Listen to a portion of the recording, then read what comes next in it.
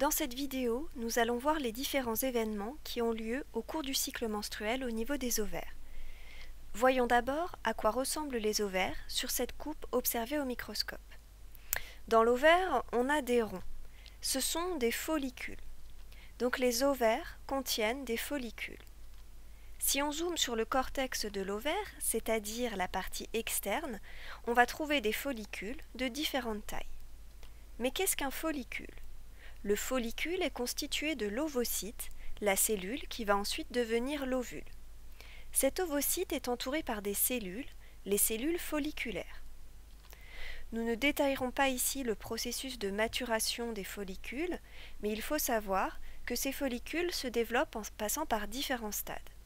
Le follicule primordial est le stade de départ.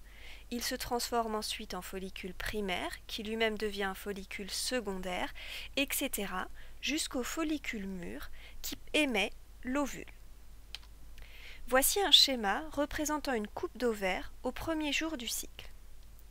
On trouve des follicules tertiaires, des follicules secondaires et des follicules primordiaux et primaires. Voyons ce qui se passe pendant les premiers jours du cycle. Nous sommes au jour 3, nous pouvons voir que les follicules tertiaires se sont développés.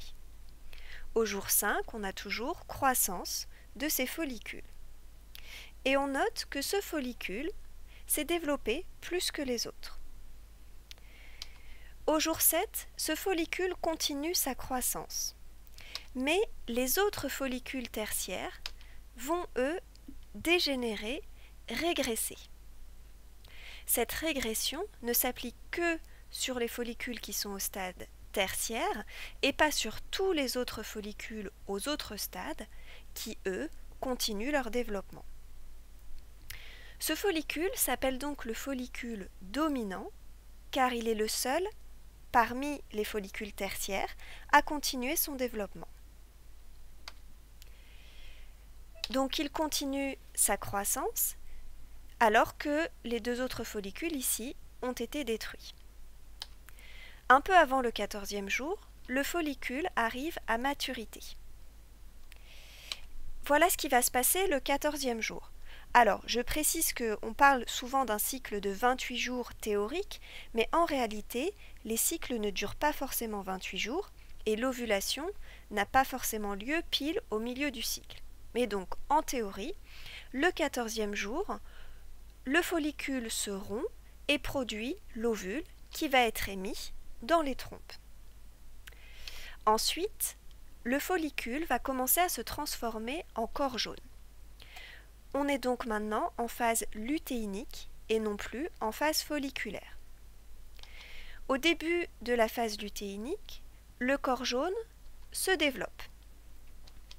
Donc il continue à son développement jusqu'à un certain point puisqu'il va ensuite régresser, donc sa taille va diminuer petit à petit. Ça, c'est dans le cas où il n'y a ni fécondation ni nidation. S'il y a grossesse, le corps jaune est maintenu.